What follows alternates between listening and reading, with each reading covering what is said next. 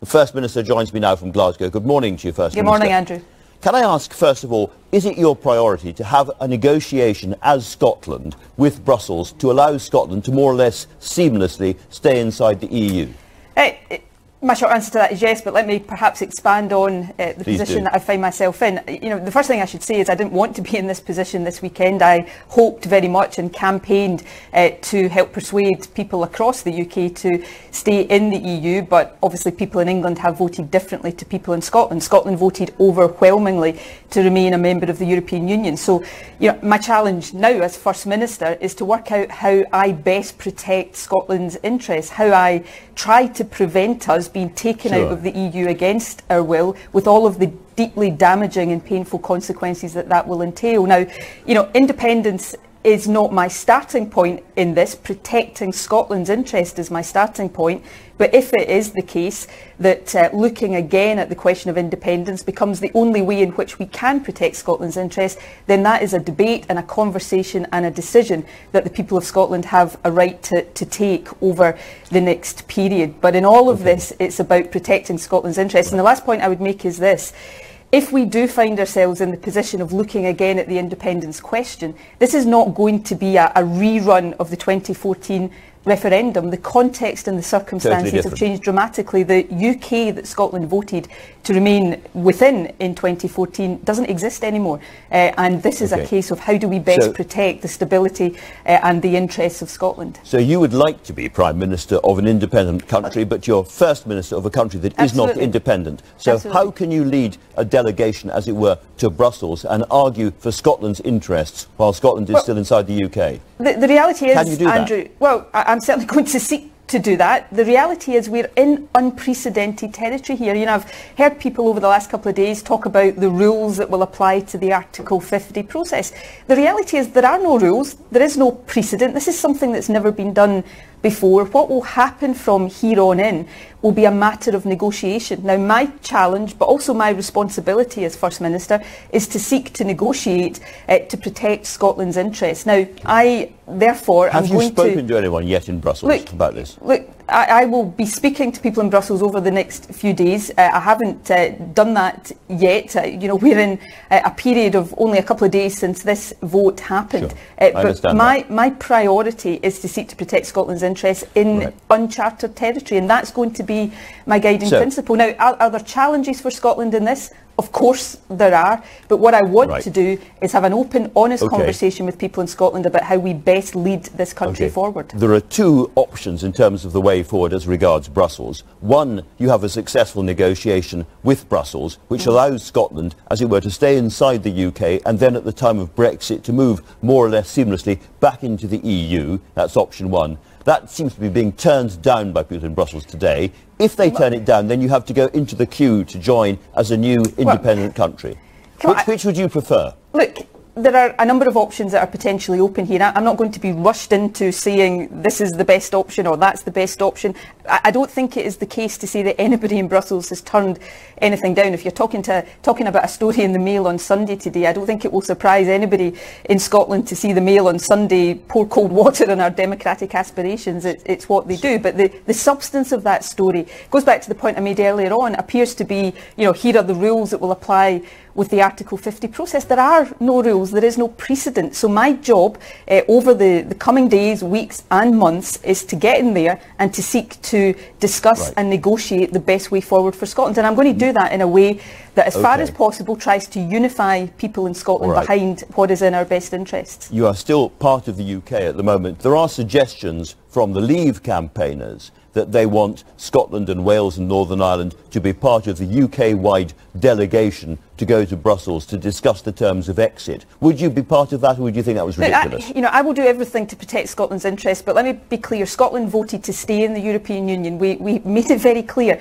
You know, it's more than 60% of people across Scotland voted to stay. Every single local authority area I in know, Scotland yes. voted to stay. It was overwhelming. It was emphatic. So, of course, in every eventuality, my priority is to protect Scotland's interests, but my starting point here is to protect Scotland's interests within the European Union. Uh, because this is not just Okay. a, a matter of principle. What, know- what is I going to happen? No, this is important. What's going to happen with the UK is that there are going to be deeply damaging and painful consequences of the process of trying to extricate the UK from the EU. I want to try and protect Scotland from that. I don't want to see the damage done to our economy, to our society, right. to our culture, to our place in the world that will come from okay. this. My job ba- is to try to protect us from that. Back at the time of the 2014 referendum, one of the problems the Yes campaign had was over the currency. Hmm. Presumably that is now, that you, you can't share the pound with a well, UK that's outside the EU while being in the EU. You would have to go for the euro well, now, no, wouldn't you? No, I, I don't think that's the case. But let me try and take this step by step. Firstly, and this comes back to the point I made, we're in very different circumstances to those that pertained Absolutely. in 2014. Mm. And, and one of the important differences is, in a sense, and I know this might you know, initially sound a bit odd, but this would not be a, a, decision about Scotland leaving anywhere. This would actually be a decision about Scotland staying. Uh, and therefore, the moral uh, argument about us retaining okay. the current terms that we have would be even stronger than in 2014. But, you know, the second just, point just is sorry, this... Coming, coming back to the currency, if you wouldn't mind. Well, OK. But on the currency or any other issue, I am not saying here just now that there are not questions and challenges that Scotland would have to face up to. I'm not going to be rushed in today to uh, giving definitive answers in that because as a country we've got to work through what these issues are. But the point uh, that I think is very important is that as we do this, that 2014, I, I was convinced in 2014 that independence was best for Scotland. But understandably, some people in Scotland saw it as a choice between a step into the unknown with independence and the security and the stability, which, the known quantity of sure, the UK. Sorry to jump That's in. not the case just now. But that uh, the, why the Scotland's continued membership of the EU exist. is so important, isn't it? That's why Scotland's continued membership of the EU is uh, so absolutely. critical. My point is that if you can't get back in again, as it were, until the UK has left, which seems the likelier thing well, at the moment. Hold on a second, Andrew. That's there is no there is no sense. Well, no, I don't, because we're in uncharted territory right now. For for anybody to say right now, you know, it, it's the likely option that Scotland would have to sort of wait to get back in. We're, the whole point here is that our argument is that we don't want to leave. It's not that we want to leave and get back so, in. We want so you to need stay, you need that voice to be heard while you are still part of the UK. How do you Absolutely. go about doing well, that? Have you I, assembled a, a, delegation to go well, there? Have you got any timetable? Who do you intend to speak to? Well, I intend to. I, have set this out. The Scottish Cabinet met yesterday, and again, in, in what I'm saying here, I'm not suggesting for a second that the path ahead is without complexity or it's easy. The Scottish Cabinet has uh, decided and made very clear that in the, the days, weeks and months to come we are going to seek discussions with the European Union institutions, uh, with other member states to explore all options for giving effect to the democratic will of the Scottish people. That's how now, I'm going to proceed. Is, and my guiding principle sure. is the best interests of Scotland and protecting what Scotland voted for.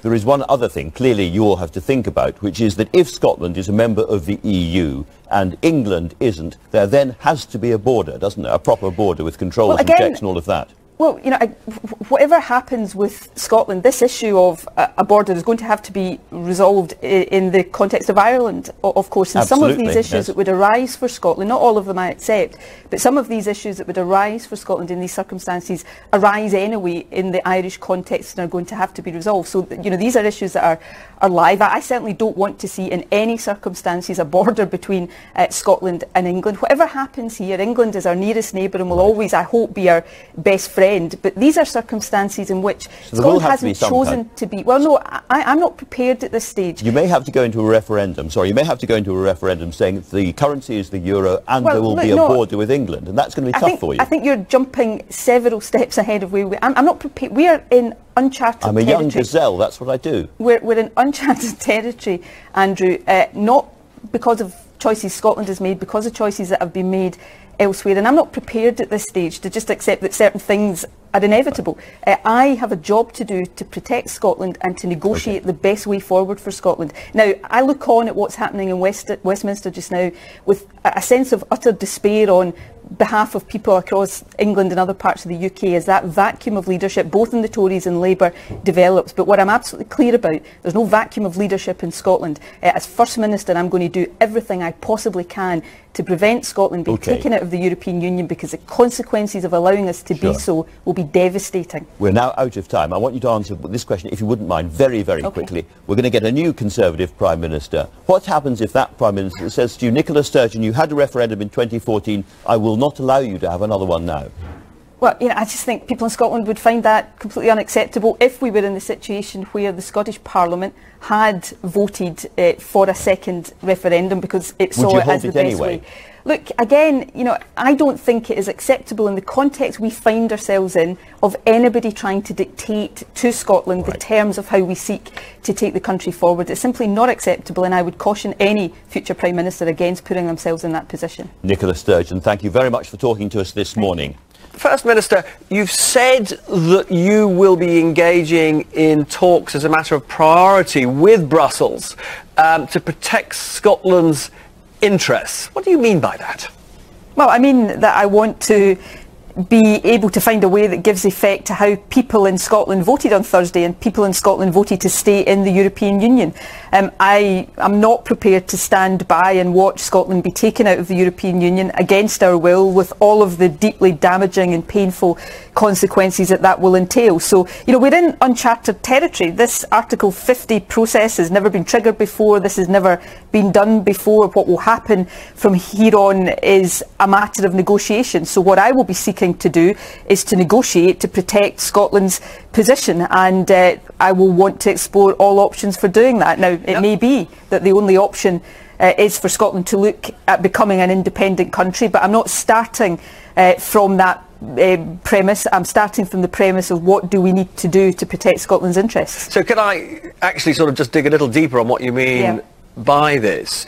Do you think it is conceivable that with Scotland as part of the United Kingdom, Scotland could have a sort of, I don't know, an associate membership of the European Union and the single market. You, Scotland, in a sense, could remain part of that. Uh, uh, of course, it would mean that you'd have to have free movement and all of that of, of, mm-hmm, of, mm-hmm. of people from the rest of the European Union. But you'd like to explore whether within yes. the United Kingdom you could, in a sense, be a sort of... And, and, and you, you don't think that's just completely implausible? Uh, I, don't, I, don't, think anything at the moment is completely implausible, and I don't yep. think we should start from that premise. Um, do I equally, you know, I'm able to sit here today and say it's absolutely possible? No, but I want to explore all options that might be open to us because the alternative to doing that is just to shrug my shoulders and say that Scotland's going to be dragged out of the European Union against our will. And if I did that, I don't think I'd be fit to be First Minister uh, of Scotland. So I'm going to explore all options. You know, we are in uncharted territory um, and I don't think anybody can say whether for Scotland or for the UK as a whole, uh, with certainty what happens next. But you know, a couple of certainties uh, we do have. Firstly, the, the process of extricating the UK from the European Union is going to be deeply, deeply damaging. Uh, probably the most damaging thing that's happened to the UK in, in post-war history.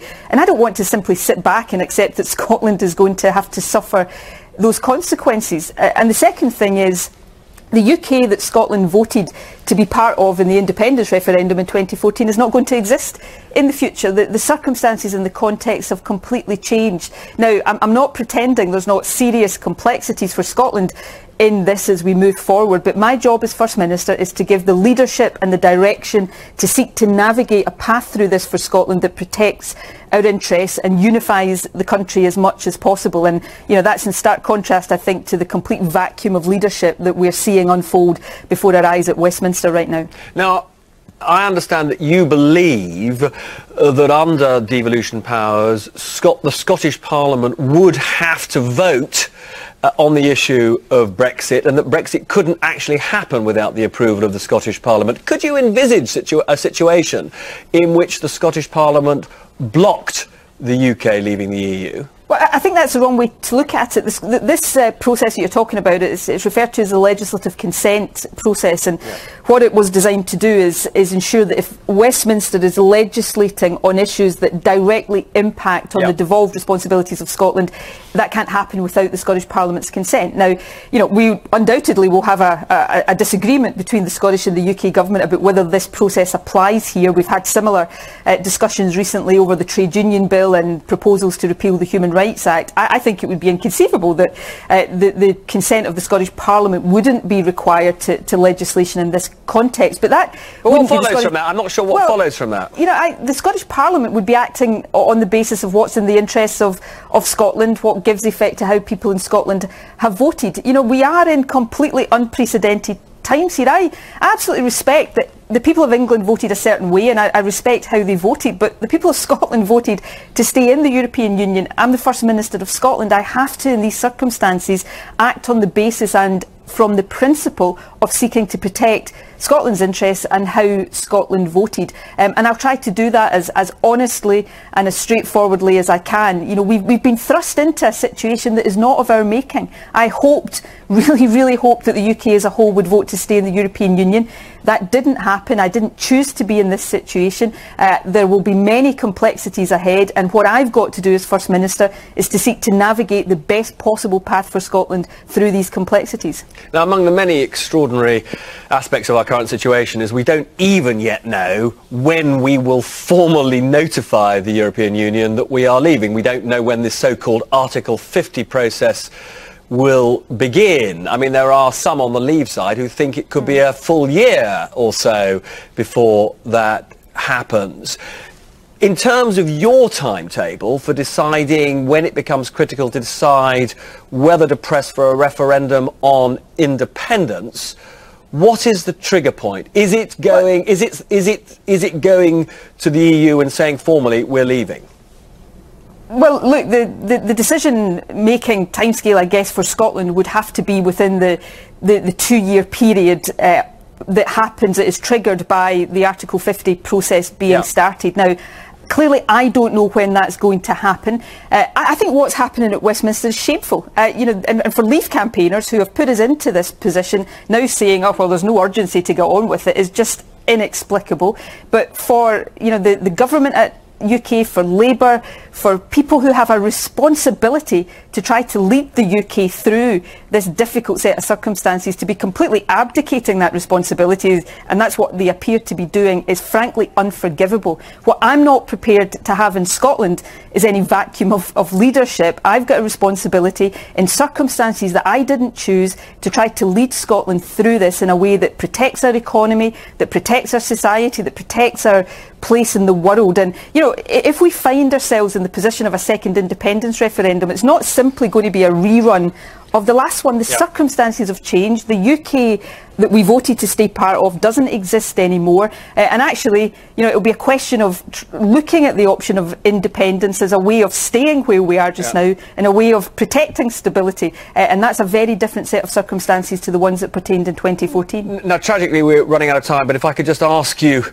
I'm afraid, a hard question, but if it's possible mm. to be brief on it, which is if Westminster were itself not to, in a sense, authorise a referendum, would you just go ahead and get the Scottish Parliament to authorise it? Look, if the Scottish Parliament votes uh, to have another referendum in circumstances where that's the only thing that we think we can do to protect our interests, then frankly it is inconceivable that a Westminster government who have thrust this situation upon us uh, would seek to block that and I would seriously caution any Prime Minister, present or future, uh, against doing that. It would be completely democratically unacceptable. Nicola Sturgeon, First Minister, many thanks. Thank you.